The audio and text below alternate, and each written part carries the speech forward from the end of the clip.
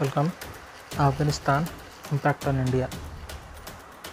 టాపిక్లో ఫస్ట్గా మనం తెలుసుకోవాల్సింది అమెరికాపై ట్విన్ టవర్స్పై అల్ ఖైదా చేసిన దాడి వల్ల మూడు వేల మంది మరణిస్తే దానికి ప్రతీకారంగా అమెరికా ఆఫ్ఘనిస్తాన్లోని అల్ ఖైదాపై విరుచుకుపడి దాదాపు కొన్ని లక్షల మందిని చంపేసింది. ఇదంతా జరిగిన తర్వాత ఆఫ్ఘనిస్తాన్ మొక్కలు చెక్కలుగా అయిపోయింది ఇప్పుడు అమెరికా ట్రూప్స్ ఒక్కొక్కటిగా వెళ్ళిపోతుంటే ఆఫ్ఘనిస్తాన్లో ఉన్న ఈ తాలిబాన్లు ఎనభై శాతం భూభాగాన్ని ఏడు రోజుల్లో ఆక్రమించేసుకున్నాయి ఇంకొక పదిహేను శాతం మిగిలింది. బహుశా అది కూడా కొద్ది రోజుల్లోనే వశమవుతుందని చాలామంది అనుకుంటున్నారు. సో ఇలాంటి పరిస్థితుల్లో మామూలు టెర్రరిస్ట్ ఆర్గనైజేషన్ ఆ రేంజ్లో చేయగలదంటే అది సాధ్యం కాదు. ఖచ్చితంగా ఒకరి సపోర్ట్ ఎక్స్టర్నల్ సపోర్ట్ ఉందని అర్థం.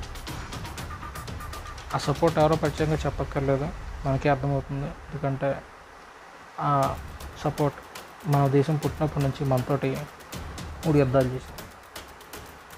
ఇప్పుడు వాళ్ళతో కనుక ఈ తాలిబాన్లు చేయగలిపి కాశ్మీర్ సమస్యలో కూడా కాస్త చెయ్యి కా- చెయ్యో కాలో దోర్చమని అంటే రేపు పొద్దున్న మన భారతదేశంలో ప్రతి వంద రూపాయలు నలభై రూపాయలు మన దేశ రక్షణ కోసం ఖర్చు పెట్టుకోవాల్సి వస్తుంది.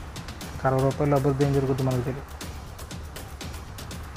కా కాశ్మీర్ విషయంలో ఆ రాష్ట్రాన్ని మొక్కలు చెక్కలు చేశారు.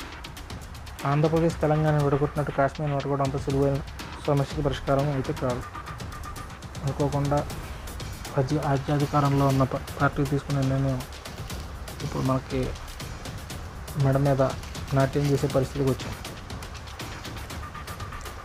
I hope Afghanistan for gives the world that is what I say what I can only say